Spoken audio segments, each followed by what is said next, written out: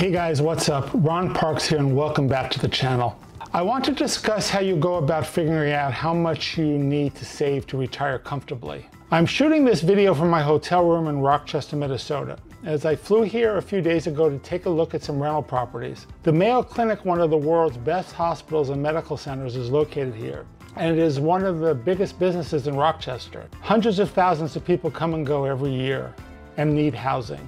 I'm taking a look at current prices and what you get for your money, and whether an investment here would pencil out. Now getting back to the topic, retirement is a tricky subject because there are so many variables that factor into having enough money to retire. So much of it depends on when you start saving, your current and future income projections, when you plan to retire, and how much money you will need in retirement. Now I want to be clear, I'm not talking about the exceptions to the rule of you retiring at 29 or 35. You can do it, and many people have done it, but you would have to have some liquidity event that brought you in lots of money early on, like working for a tech company that went public and your stock options are now worth a boatload, or inheriting a lot of money, or for that matter, having a usually successful YouTube channel. So let's talk about the usual path to retirement, where you work until you retire. No matter your age, I can give you some reasonable steps to calculate what you need at any age and to start a plan to put money away. You have three questions that need answers. One is how much money do you need to save annually at your age so you have enough money to cover your projected spending in retirement with enough money so you don't run out. Question two is how much money do you need to spend annually in retirement to keep up your lifestyle? And question three what percentage of your retirement earnings should you anticipate to spend every year? There are a number of protocols that financial planners use to come up with how much money you need to save. Rule of thumb number one is that you need 20 to 25 times your annual salary to have enough money to live your retirement years with some comfort. For example, if you make $50,000 a year, you'll need 25 times 50,000 or $1,250,000. Rule of thumb number two is that you need to have enough money to cover around 80% of your final annual salary just before retirement. So if you make $50,000 a year at retirement, you will need to have an investment portfolio where you can withdraw $40,000 a year. And in this example, you would need at least a million dollars invested. That's 40,000 times 25. And the third rule of thumb is the 4% rule. It says that your withdrawals from your investments should not be more than 4% a year. So here's a rationale. If you started investing at 20 and put away 15% of your salary every year, assuming a $50,000 salary, and you retired at 67, you would have $2,221,000 saved. Boy, wow, that's a big number. Using the 4% rule, you can draw out $67,366 a year, and the principal in your account will not decrease. If you need less money in retirement, well, just reduce the annual amount you withdraw.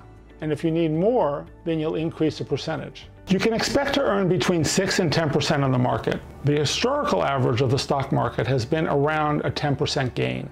But those fluctuate when we have a good market in the years of growth and a bad market in years where, well, we might be in a recession. When you retire, your portfolio can still earn anywhere from 4 to 7%, taking into account an average inflation rate of 2.5%.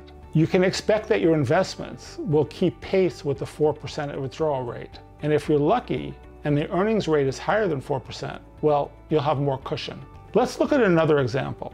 Your last annual salary was $100,000 before retirement. If you can live on 80% of your last salary before retirement, you would need to have $80,000 a year available to live the same lifestyle. So if you withdraw 4% of your principal balance, you would need to save $2 million at retirement. According to a survey by the Transamerica Center for Retirement Studies, the median retirement savings by age in the United States is quite low. Americans in their 20s have saved around $16,000. And in your 30s, they have saved around 45,000. In their 40s, around 63,000. In their 50s, around 117,000. And the median in their 60s, $172,000. These numbers are dismal. It is almost impossible to retire and have your money last if you only have $172,000 available at retirement, even with some Social Security benefits. So, how do you calculate what you need to put away every year instead of using these benchmark percentages? Well, you'll need to have to calculate the future value of the money you put away every year.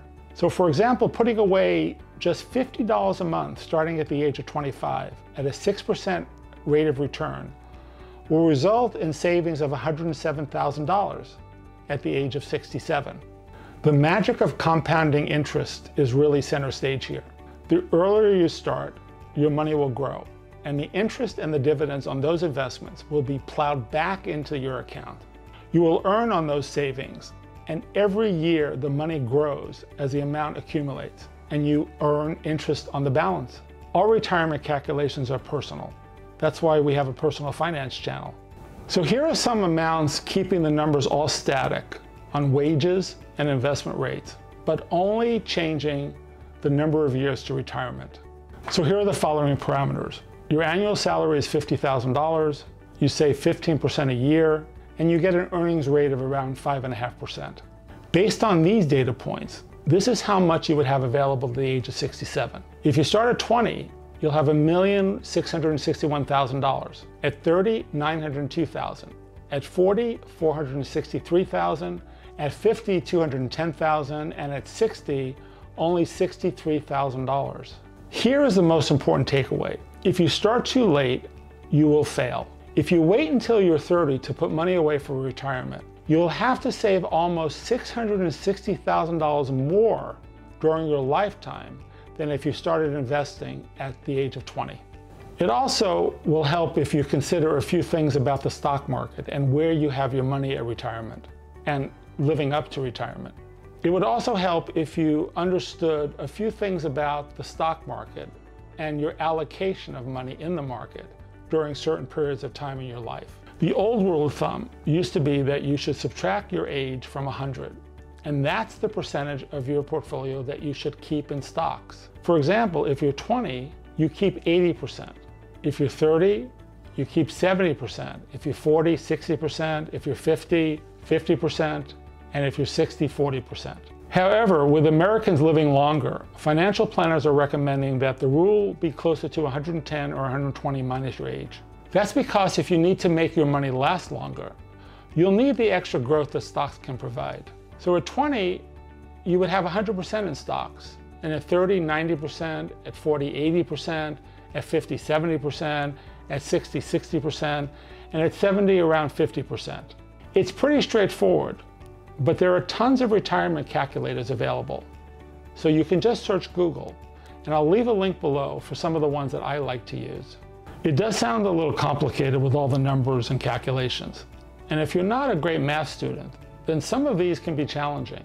There are so many resources on the web to first calculate what you need to invest every year to give you what you think you will need to spend at retirement. Now you might be able to extend your money by retiring later or wait to withdraw your Social Security until you're 70 and a half and evaluate your expenses.